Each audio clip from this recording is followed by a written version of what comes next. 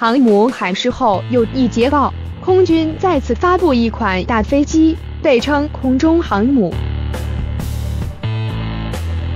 国产航母海试于五月十三日正式开启，中国人终于凭借自己的努力完成它的处女秀。接下来，它将进行动力系统和舰载机上舰测试工作，估计它会在二零一九年年底前交付海军并服役。就在所有人都将目光放在国产航母海试时，在中国另外一端也传来了令人振奋的好消息。中航空业近日连续展出了多个 MV 视频来纪念西飞成立六十周年，其中在五月十日还公布了疑似国产隐身轰炸机的镜头。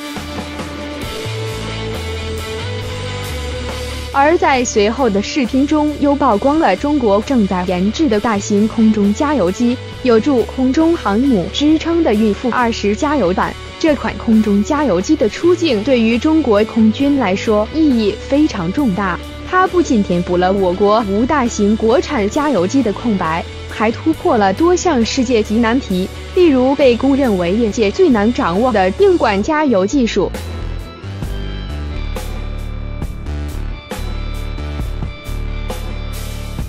虽说有不少人已经猜到孕妇二十可能会被当做平台来改装成空中加油机，但是让人没料到的是，它直接一步到位的采用硬管加油技术。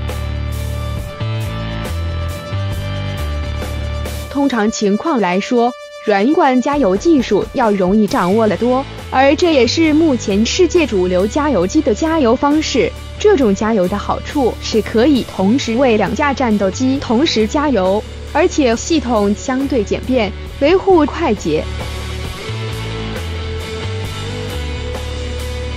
但缺点是加油效率慢，需要两机高度的默契配合，加油风险随之增大。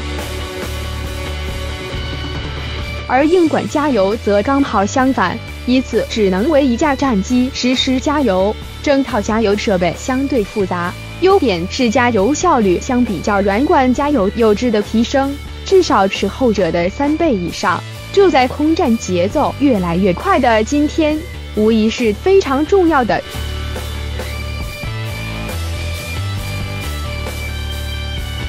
从中韩工业的视频中，我们看得出，目前支持硬管加油技术的战机仅有歼负二十。加油方式类似于美国的 F 二十二，从背部加受油。英管加油技术的突破，对于歼负二十，甚至是未来三代万战机的作战能力提升是显而易见的。